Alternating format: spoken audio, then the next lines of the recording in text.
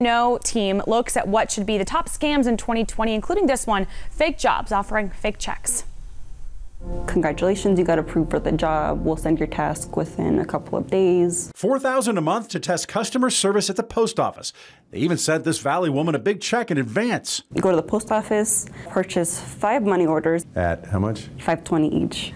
As instructed, she bought and sent the $2,600 in money orders, later finding the check they sent was fake. Scammers found her on LinkedIn, but on a different site, a different job seeker got a different kind of offer. Somebody wanting to advertise their product. 550 bucks a week to slap ads on her car. They sent a $1,900 check and wanted it in her account now. Have you deposited the check yet? Have you deposited the check yet? I said, No, I haven't gone to the bank. When they wanted money back and threatened her, she backed out. Different owner, same scam. Real businesses and banks used to appear legit. Checks sent up front. Victims' money good, checks always bad. As more people seek flexible jobs, it's expected to be an even bigger scam in 2020.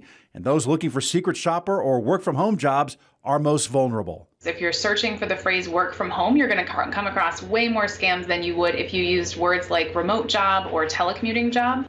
FlexJobs does offer legitimate work at home jobs. Now, I say if you get a big check for work you haven't done yet or overpayment for something you're selling online, I'd avoid it. I'm investigator Joe Ducey. You got a problem? Let me know.